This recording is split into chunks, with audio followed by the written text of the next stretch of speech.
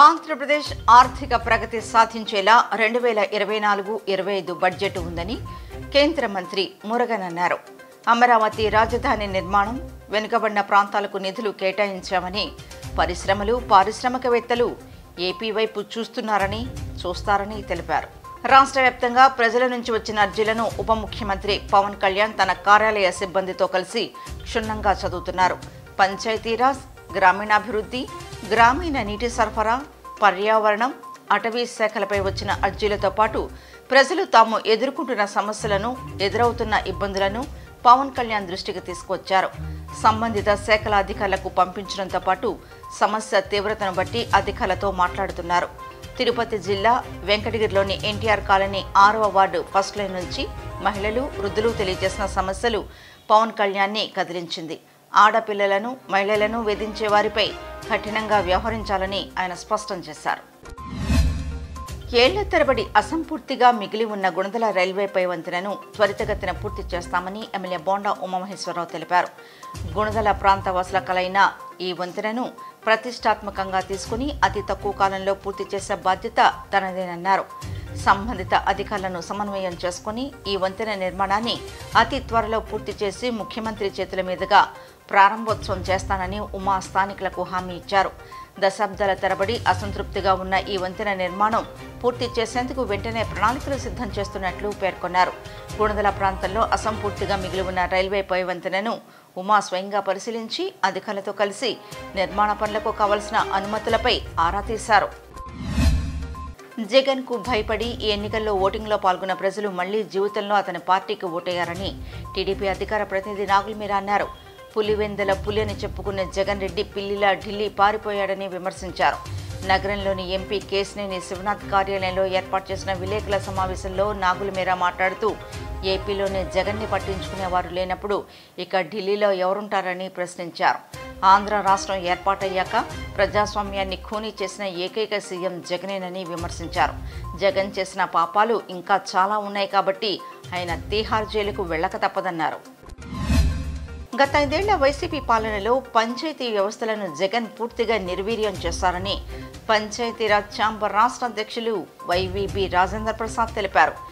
NDA కూటమి అధికారంలోకి వచ్చాక రాష్ట్రంలో ఉన్న పంచాయతీలకు నిధులను కొంతవరకు కేటాయించారని పేర్కొన్నారు. ప్రపంచంలోని ఆర్య వయసులందరినీ ఏకతాటిపైకి తీసుకురావాలనే ఉద్దేశంతో సెప్టెంబర్ పదిహేనవ తేదీన దుబాయ్లోని అబుదాబి నేషనల్ స్టేడియంలో వాంగ్ గ్లోబల్ కన్వెన్షన్ నిర్వహిస్తున్నట్లు ప్రపంచ ఆర్యవయస మహాసభ గ్లోబల్ అధ్యక్షులు టంగుటూరి రామకృష్ణ తెలిపారు. సుమారు వంద దేశాలకు చెందిన ఆర్య వయసులు ఈ కన్వెన్షన్లో పాల్గొంటారని ఆయన తెలియజేశారు.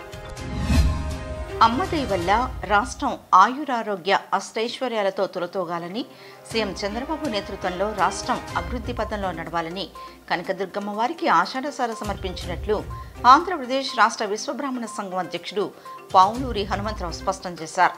గత కొన్నేళ్ళుగా అమ్మవారికి సంఘం ఆధ్వర్యంలో సారె సమర్పిస్తున్నామని తెలిపారు. ఆర్యవయస్సుల ఆరాధ్య దైవం సర్వ లోకాలను చల్లగా చూసే శ్రీ వాసవి కన్యకా పరమేశ్వరి అమ్మవారికి ఆషాఢ మాసంలో సారె సమర్పించుకోవడం తమకెంతో ఆనందం కలిగిస్తుందని అర్బన్ జిల్లా ఆర్యవేశ మహిళా విభాగం మారం రోజారాణి ఆనందం వ్యక్తం చేశారు. గత నాలుగు సంవత్సరాలుగా వాసవి అమ్మవారికి ఘనంగా సారె సమర్పిస్తున్నట్లు తెలిపారు.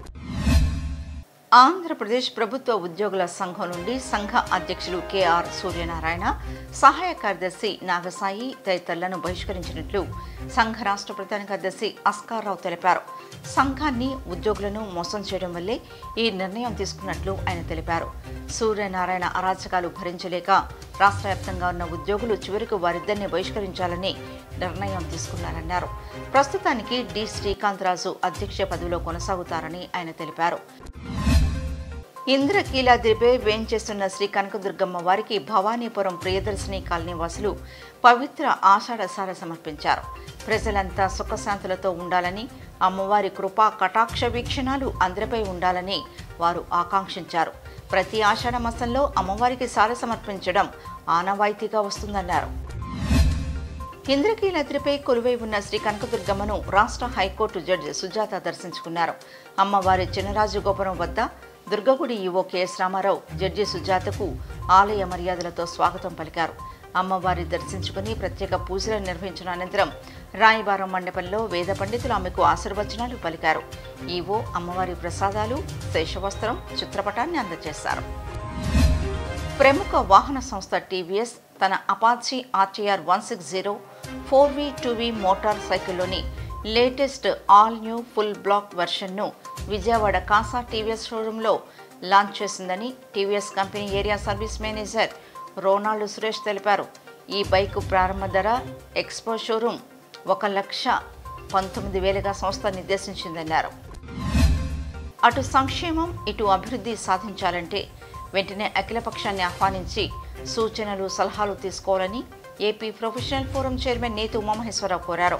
మాజీ సీఎం జగన్ తప్పులే ముఖ్యమంత్రి చంద్రబాబు నాయుడు చూపుతున్నారే తప్ప లోటును ఏ విధంగా భర్తీ చేయాలో చెప్పడం లేదన్నారు. సీఎం బాబు సూపర్ సిక్స్ పథకాలంటూ ఎన్నికల్లో విజయం సాధించారు. ఈ పథకాల అమలు ఏ విధంగా చేస్తారో చెప్పాలని ఆయన డిమాండ్ చేశారు. మేధావులతో పాటు అఖిలపక్షాలు కూడా ఆహ్వానించి వారి సలహాలు సూచనలు తీసుకుని ముందుకెళ్ళాలని ఉమామహేశ్వరరావు రాష్ట్ర ప్రభుత్వానికి సలహా ఇచ్చారు.